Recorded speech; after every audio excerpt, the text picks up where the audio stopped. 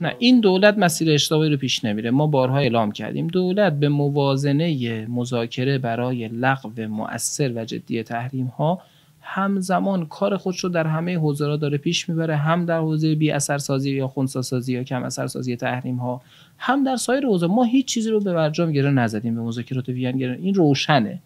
یعنی ما رو خیلی از رسانه ها نقد می‌کنن که چرا آقا اونجا رو کم مثلا توضیح می‌دید تعبیر می‌کنه آقا اونجا هم یه موضوع از ده ها موضوع روی میز دولت وزن خودش رو داره. اون اون اشتباه استراتژی که به درستی شما میفرمایید در این دولت اتفاق نیفتاده و نخواهد افتاد. یه بازه کوتاهی دو نرخ از رفت بالا روی سی تومان که شما میفرمایید. بعد همون بیانات رئیس جمهور و دستور رئیس جمهور بود. بازار ارز کنترل شد. یکی از کمک های جدی هم که در کنترل بازار ارز داشت همین برخورده با سفت بازها بود.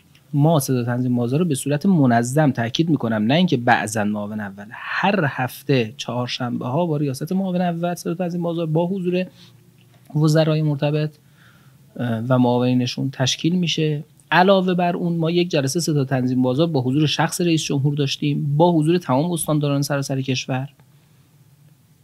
که من حالا شما برید چک کنید اصلا یه همچین جلسه بوده یا نبوده تا حالا؟ صدا تنظیم بازار با ریاست جمهور من نمی‌دونم. من خبر ندارم اگر بوده. مردم در طول زمان خادمان خودشون رو شناختند.